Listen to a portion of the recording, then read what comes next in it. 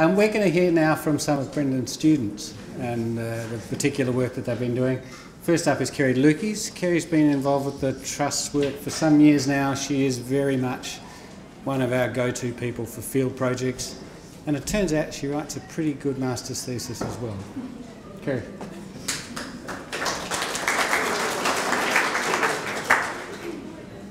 Um, hey everybody, so I'm going to tell you a little bit about my master's project today. This is one of three talks from me, um, one of which I found out about at about 8 o'clock last night, but this one I'm prepared for and have practiced. So I'm going to just start by giving you a little bit of background on little blue penguins for those of you that aren't that familiar with them.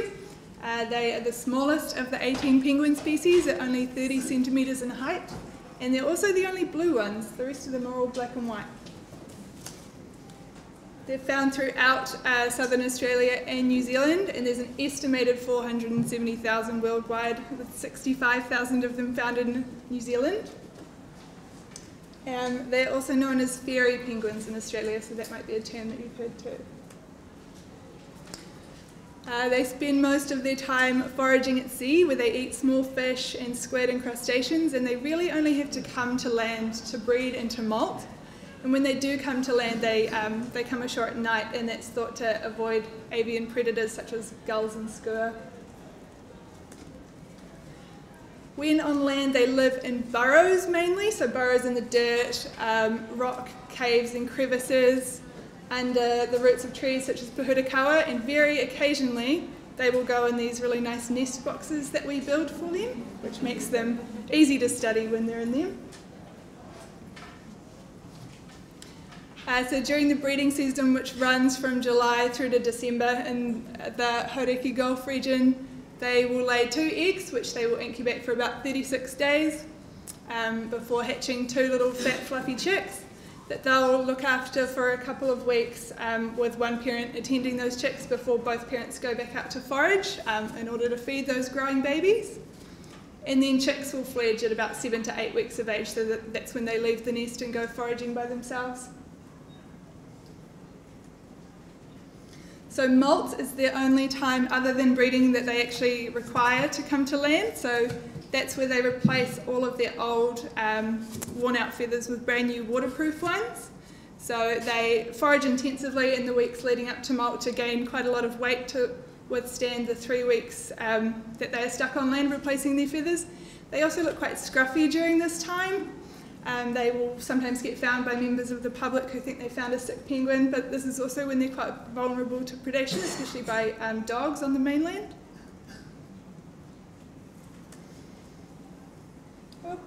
So now to my study. So I looked at um, penguins as really fine scale marine ecosystem indicators. So they are not migratory. They stay sort of uh, roughly near their, their nest year round.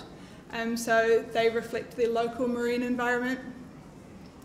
And I um, compared penguins over both space and time, so three different colonies in the Hauraki Gulf was sort of a spatial comparison and the museum specimens that Brendan spoke about was my comparison over time, and also um, some specimens collected by Massey University after that big die-off um, at the beginning of last year, which a lot of you probably remember.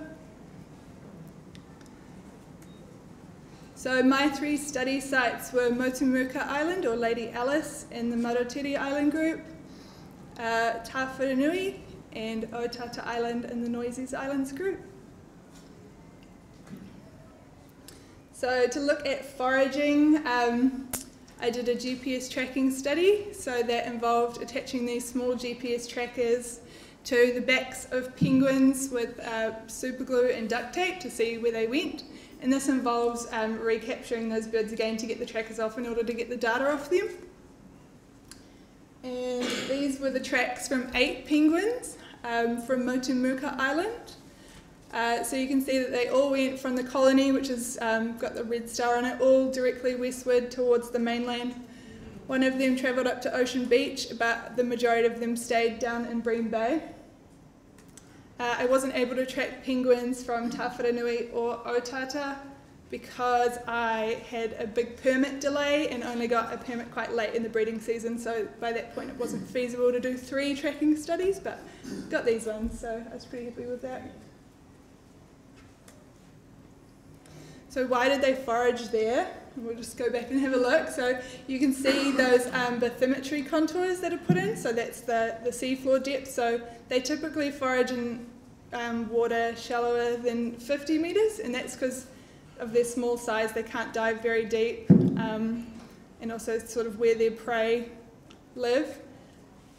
Uh, Bream Bay is also a known pilchard spawning ground, so that is um, one of their prey species and also because of uh, the nutrient output from the Whangarei Harbour. So um, another thing that I looked at for the foraging was stable isotope analysis.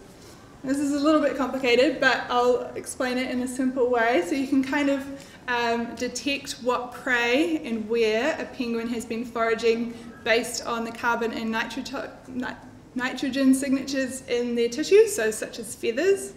Um, so nitrogen can kind of give you an idea of the prey trophic level that they've been feeding on. So, so higher nitrogen is a higher trophic level, and a trophic level would be, say, the difference between a carnivore and a, like a carnivorous fish and a herbivorous fish, or between sort of um, a crustacean and a plant. Um, whereas the carbon signature tells you whether they've been furthering, uh, foraging close to land or further from land based on the carbon from phytoplankton and from terrestrial plants. So that's how you can kind of tell where and what they've been foraging on from um, stable isotopes and their feathers. So back to those three study sites. And what I saw um, was that the, uh, the museum specimens, so those penguins that were collected over the past 130 years, they had a more inshore carbon signature than the contemporary penguins. And that the penguins from Otata Island had a very slightly higher um, nitrogen content in their feathers than the other groups but actually all groups kind of had quite a similar diet because um, the difference between a trophic level is about three or four um, isotopes, whereas I only saw a difference of about two. And so why did we see these differences? Um, so I kind of, I didn't determine why, but these were just sort of just some thoughts that I had was that possibly there's uh, less competition for food in the inner Gulf, so around Otata Island, because there's less seabirds and less large fish. Um, so maybe better quality sort of prey, um, higher trophic level prey for the penguins um, in the inner Gulf. And possibly uh, primary productivity has moved further offshore over time, which is why we might have seen a um, more inshore carbon signature in the museum specimens back to the study sites just to refresh your memories. And for the stress hormones, so I looked at stress hormones in their feathers, um, and I found that the museum specimens actually had far higher stress measurements than any of the contemporary groups, which was quite an interesting find. We would have kind of thought it would be the other way, but And um, of the contemporary groups, Motumuka, so Lady Alice Island, had the highest stress levels.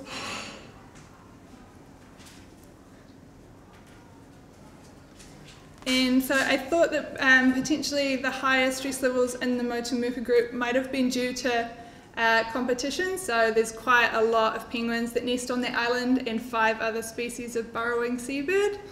Um, so there's probably quite a lot of competition for nest sites on that island and potentially food surrounding it as well.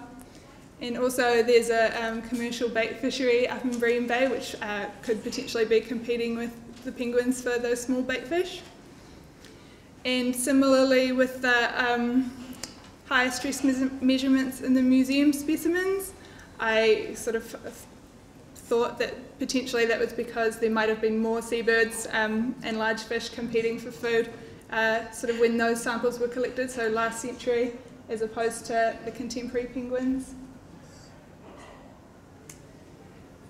So I concluded by saying that, yep, you can use little blue penguins as marine ecosystem indicators on a really small scale, um, especially during that breeding season when they are really confined in their foraging. But that you should look at foraging ecology and stress physiology in conjunction with breeding success, um, as breeding success really shows uh, the impact of those marine fluctuations um, on the penguin populations and I just threw this one in there. So I overlaid the sediment disposal sites for the upcoming Whangarei harbour dredging over my penguin foraging tracks. And you can see where the sediment disposal is likely to occur is right in the middle of where those penguins are foraging. And that is likely to um, increase turbidity in the water and make it quite hard for them to find their prey. So ideally, those sediment disposal sites would be moved further offshore or um, if that could be done outside the penguin breeding season, that would really benefit the population up at Motumuka. Thank you, and thanks to Edin for all of your photos.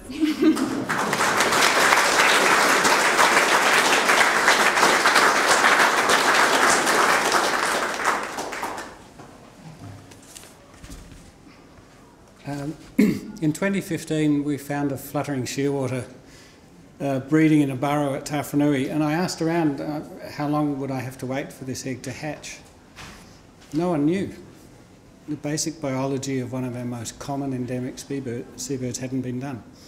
Since then, we've found out it's about 50 days, but Edin's going to take that a little bit further and learn a hell of a lot more about fluttering shearwaters and prions and little shearwaters as well. Edin. I'm going to try. Kia ora. Uh, Kerry and I have been Roachin's giving a lot of talks today, so you're going to be hearing from me a lot as well. Um, I'm Edin. I take photos of seabirds, but I also study them. So I'm currently doing my PhD at the University of Auckland with Brendan. I did my master's with him as well. Sorry, Brendan, I'm not talking about grey-faced petrels today. I'll mention it briefly, but I want to focus on the new, what I am doing now. And because I started in March, I don't have any nice results to show you, so I don't have any pretty pictures. Um, but I am going to give you sort of the background of why I decided to do this project, why how it's all come together. Um, so it's not the sort of proposal talk I'd give at the university. I'm going to give you the reason and the goal and why I'm really, really excited to be doing this project and also some of the frustrations that have come along with it. So I've lived in Auckland for about eight years now, um, but it's only in the past few years doing my masters at the university that I've come to realise what an amazing place this is for seabirds. We have such diversity, we have such endemicity. It's really, really spectacular.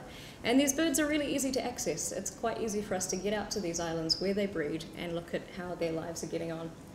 So I feel quite proud and I feel quite protective of what we have here. And the reason I'm doing research is so that we can have some tangible conservation outcomes to look after these birds into the future.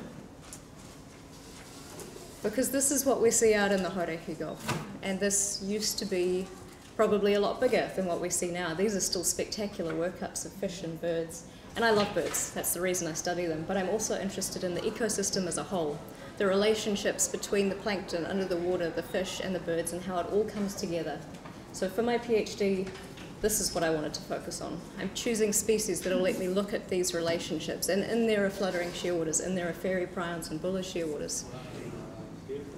So a few of those I'm going to be studying. And these are fluttering shearwaters, as James said. Not a lot is known about them. They're one of our most ubiquitous birds in the Gulf. You go out, you see huge, huge rafts of them.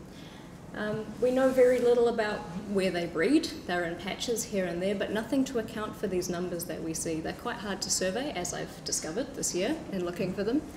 Um, so Martin Berg investigated their breeding ecology, which is why their hatching takes about 50 days. We've got five very fat, fluffy chicks sitting in nest boxes at Tawhanui at the moment that I went out the other day to see. Um, but these common little birds hold quite a lot of potential as measures for the health of our Gulf. Brendan's talked about indicators, which is great, you're all familiar with that. Um, these birds cover a region of high interest and they're here all year round. Most of them are anyway. The vast majority of the population of fluttering shearwaters are non-migratory, so they rely on resources in the Gulf all year round during their breeding season and when they molt. Does this thing still work? Yay! No, that's backwards. I had it upside down. so last year I wasn't doing academic work. I was doing a lot of work with the Northern New Zealand Seabird Trust, and we did surveys of Taranga, of Hen Island and the Marotiri Chickens Islands, and we were primarily looking for fluttering shearwaters. We were following up on old surveys and old reports of where they've been breeding in the Hauraki Gulf. And we found some, but to our surprise, we actually found a lot more little shearwaters, that cute, adorable little ball of fluff in the middle there. Um, and there's all these birds living in the same place. They all breed around the same time. They all seem to be feeding on the same thing, doing the same thing. How do all these birds coexist together? So this is the enigma. This is a little shearwater. We don't see these birds at sea so much, and when we do see them, they're a lot further from land than fluttering shearwaters. They don't aggregate together. They're really quite solitary. So these might be more pelagic foragers. They might be further out. And looking at these two species might tell us different things about different spatial areas of the Gulf. So Brendan's talked a lot about indicators. It's all spurred from this paper by Cairns a long time ago. Talking about seabirds as indicators is a great buzzword. People really latch onto that. They're like, oh yeah, that's a great idea. The problem is we haven't done a lot of this in New Zealand. To use a seabird as an indicator for the health of the marine environment, you're actually looking at something really, really specific. So there hasn't been a lot of investigation of how things like seabird breeding success actually relate to changes in the marine environment. We don't have the links to put this picture together. This is a gap in our literature. And it, for me, it's an opportunity because this is what I want to focus my PhD on, is bringing these links together. And it looks a lot like this. I'm a very visual person. I've spent a lot of this year scribbling on pieces of paper, drawing seabirds, drawing cute chicks, figuring out what, how do I need to go about answering the questions that I want to ask. And it's all very well to have a question and have a vague idea of where the research is going. But for a PhD, you need to be really concentrated on how you're going to answer this question. And your sampling design is really important. I can't just go out there and track a whole bunch of birds and then come back later and say, oh, what is this showing me? I have to figure out how I'm going to collect the data so that I can answer the questions I want to ask. I need to plan ahead so that I can do analyses and actually come up with something meaningful. So what's the question? I don't really have a question. I have a very broad idea of what my question is going to be and little aspects that are going to come together. And part of it is investigating some of this basic biology of fluttering shearwaters and little shearwaters and fairy prions, which I'll mention a little bit later. Um, but I want to tie all of these things together. I want to tie together fluctuations in environmental variables, so sea surface temperature, how does this impact the energy into the system, what the birds are feeding on, the availability and the energy content of their food, of plankton and fish? How does this impact adults' behaviour while they're raising chicks and their body conditions? So, looking at blood, looking at their physiology, and also looking at their movements, how far they're going to forage, where they're going to forage. And ultimately, how does this impact chick condition and chick success? Chicks are the ultimate output of any breeding event, so by looking at them, we get a really good indication of how the population's going. And we can keep looking at this year on year. A PhD is three years, I get three seasons to look at this and see how things change in relation to the marine changes year on year. So I want to draw all this together. So far, I'm two thirds of the way through my first field season. It's been intense, although there are huts on some of the islands that we stay in. Um, but it's been a lot of staying up very late at night, collecting blood samples, processing them during the day. We're extremely fortunate to have some truly, truly spectacular islands to work on, like the Poor Knights Islands. And the reason I've been doing a lot of work there is because these little birds are really, really hard to find. So I had this grand plan of sampling a certain number of fluttering shearwaters year on year. Um, we haven't found that many fluttering shearwaters. I wrote a list last week of all the things that hadn't worked this year because I was frustrated. It's really annoying when you're trying to do this amazing sounding project and it's just not working. And then I made a list of what we'd learned because things had gone wrong, and that list is so much longer. We've learned a lot about the behaviour of these birds, the timings of when they come back to the colony, where they like to breed. Turns out it's on really inaccessible cliffs that you can't get to because they crumble out from underneath you and you fall into the sea and you die. So I'm not planning on doing that. So ultimately, a PhD is about learning new things, and that's what I'm doing. They might be frustrating new things and they might not let me answer the questions I want to ask, but I've got other questions to ask as well, which is where fairy prions come in. I was lucky to be a part of the work last year that the Northern New Zealand Seabird Trust started up tracking these birds, putting the little geolocators on their legs to see where they go when they migrate. They're very similar to fluttering shearwaters in what they do while they're here, so we see them foraging with those big workups. Um, so I'm sort of taking on that project, looking at fairy prions as well. They've been very easy to find, they've been very reliable. So far, we've gotten back over half of the geolocators that we deployed last year. Um, we're about to go out next week and do some work on them, looking at how they're getting on with raising their chicks, which will be very small and cute and just hatched right now. So that's how I'm adapting to a very frustrating start to my PhD. Um, I'd just like to thank my supervisor, Brendan Dunphy, you're wonderful. Um, Auckland Council's given us a lot of support in terms of funding and little tracking devices, and Guy is coming out with me to Burgess pretty soon, so that's going to be exciting. And of course, Chris Gaskin and Kathy and Pete Mitchell, who have stayed up very late with me, gotten up before dawn with me many times to sit on hills and try and catch birds that don't exist. And still enjoyed it, so thank you very much for that, and thank you all for listening.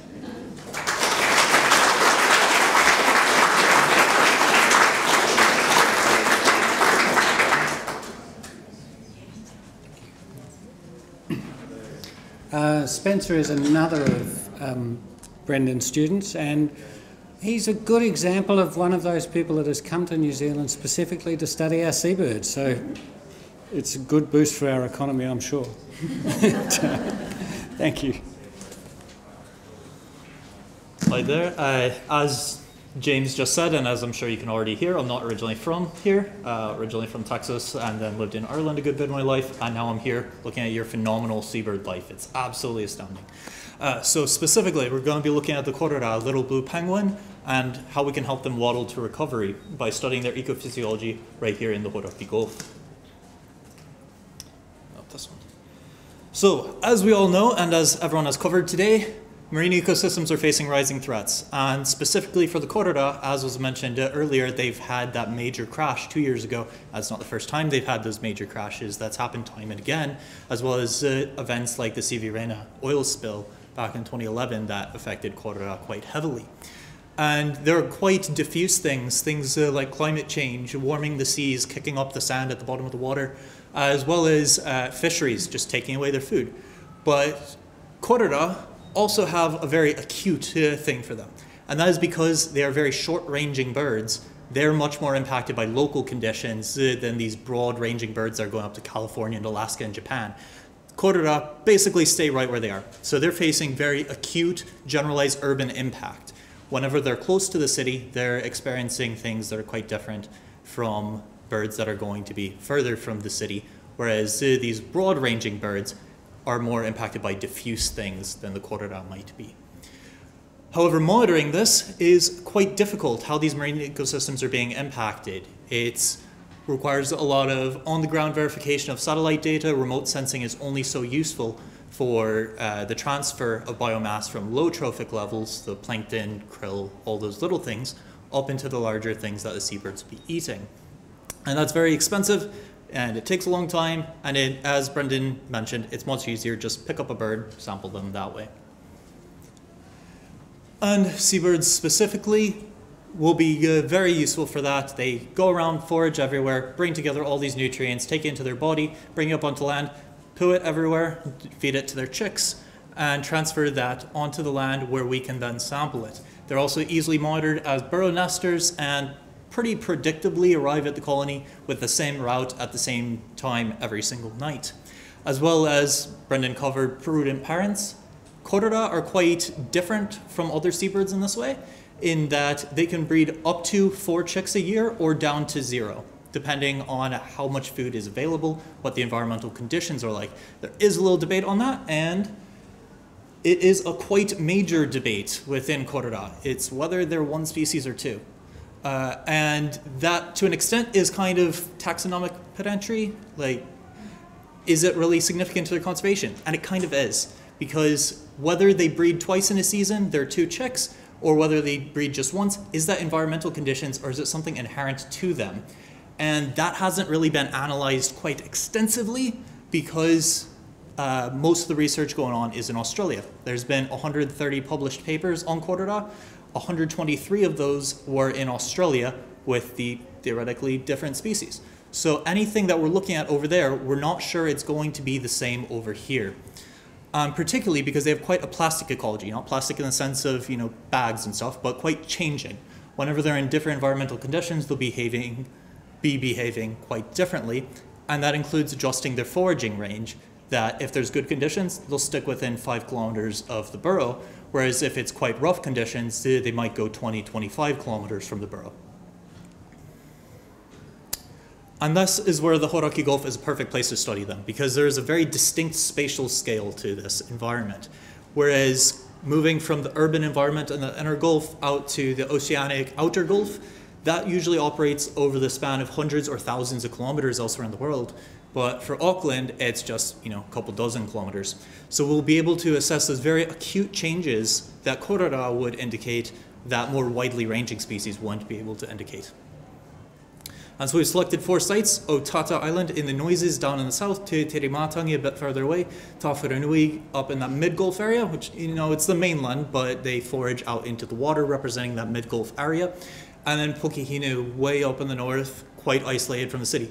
And those red circles around the islands are essentially the maximum foraging range of a korora, marked at 20 kilometers. And you can see for Otata and Terimatangi, they go right into the city, whereas Mokohinau doesn't even have other islands out there. There's no human impact or no acute human impact in the same way that you would have with Otata and Terimatangi. So we're looking at this with a matrix model approach, uh, taking all the inputs into the penguin and measuring the outputs that come from it. So inputs being breeding stage, rearing, incubation, pre-lay, uh, and outside of breeding season. Colony location, inner Gulf to outer Gulf. Environmental conditions like sea surface temperature, chlorophyll A, uh, bathymetry, as well as uh, uh, Kerry touched on, there might be some competition, so density of penguins around them. And then the outputs that we'll be measuring is chick rearing, stress physiology, which was covered by the previous talks as well, looking at their blood, looking at their stress hormones, and um, uh, the, what are they called? The stable isotopes. Uh, spatial foraging, we're going to be looking at where they're foraging, and prey selection, what are they eating when they're actually there, marked by the stable isotopes. And we're predicting that the inner Gulf colonies will express higher stress, and the stress levels will be highest during chick rearing, especially that guard stage. This isn't actual data, this is just a representation of how it would be, because it's not just looking at one variable, and it's not looking at two variables, it's looking at how they intersect with each other and compound each other. So being in the inner Gulf would be more stressful than the outer Gulf, Chick rearing is more stressful than outside of breeding season, but they compound each other to be much more stressful than each one independently. This is building off the past studies, Kerry's that was just spoken about, Shea Vickers quokka stress or diving petrels. Uh, they're different species, but they will overlap in the methods and what we're predicting to see from them. Uh, and then Jing Jing Zheng back in 2016 developing the behavioral inference models that we're using for the spatial behavior. Physiology, we're looking at corticosterone using ELISA protocol. And that's just looking at a hormone called corticosterone that indicates how stressed they are or is a good marker of how stressed they are, both in the feather for a longer term stress uh, period from when they first grew those feathers in their catastrophic molt, and then their blood, how stressed are they right when I pick them up uh, when they've just gone back from their day of work. Uh, and then hematology, what are their blood parameters, uh, just like Brendan was discussing, looking at how much oxygen they can have, size of their cells, health of their cells. This is from Shea's diving petrel study comparing Tiramatangi to Mokohinau. Uh, quite a similar map to the one that was shown earlier. The ones at Mokohinau basically circling around the island, not going very far. The ones down Tiramatangi essentially fleeing the city. They're going uh, north and east directly away from Auckland. They're not circling the island the same way you saw Mokohinau. So they're having to move out uh, away from the inner Gulf. We'd expect if Korora are seeing similar drivers, they would have similar behaviors like this. And then we will be assessing that with like got you trackers, what Kerry discussed. You can see one on their back right there, and assessing it with HMMM, which is just looking at hidden behaviors that are tucked into uh, the data collected from those trackers. Are they moving around right now looking for food? Are they actively eating? Are they resting? Are they commuting? Uh, as well as stable isotopes telling us what they ate while they were there, and Kerry did a brilliant one on that. Uh, and we're going to model that against environmental conditions. What's the chlorophyll A situation like there, sea surface temperature, and the bathymetry, seeing what conditions is it that they're looking for to get to their prey. Chlorophyll A especially does not always transfer up trophic levels to the larger prey items, so we need to get that on the ground verification compared to the satellite data. How does this influence their provisioning uh, for their chicks? How fast do the chicks grow? How many feeding events do they have, how large are those feeding events, and how do siblings compete with each other. And this is especially a quite new addition to the study because we saw lots of sibling competition on Tiri Tiri Matangi this year. Lots of chicks that were twice the size of their sibling. And we want to look at what's driving that behavior uh, and how will it be impacting their breeding. We're going to be looking at that using camera trapping as well as uh, in-person observation and daily weight uh, measuring of their weight and relating it back to the parental condition that was in the previous stress and all that. We're also looking at using this new technique, LAICP-MS, which just rolls off the tongue, laser ablation inductively coupled plasma mass spectrometry. just brilliant and concise. Uh, and basically, that's just, we blast a laser at a feather, and it tells us the elemental ratios within that. What we're hoping to apply this for is looking at heavy metals getting into the birds. Uh, if they're close to a pollution source, is it representing that in their feathers, and is this an effective method for it? As well as we can use it for rehabilitation and oiling response. So like when we had the C. Rena oil spill, uh, there were penguins just washing up everywhere, or the big crash two years ago. We could identify potentially, and that's what we're examining, is this potentially a tool for identifying where these penguins are coming from? Is it just one colony impacted? Is it just one region impacted? Or are there a bunch of different ones? So we'll be identifying at what scales can it be used for identification of a source colony for a penguin. Does a Hawke's Bay penguin have different elemental ratios from Bay of Plenty or Hauraki Gulf? And so, bringing all these disparate measures together, basically what we're looking for is not one base thesis question, but these five. Who is being impacted by stressors? Where are they being impacted most? When is the most stressful time for them? What is stressing them and what is it changing in their behavior? And how can we influence their conservation to help them waddle back to recovery?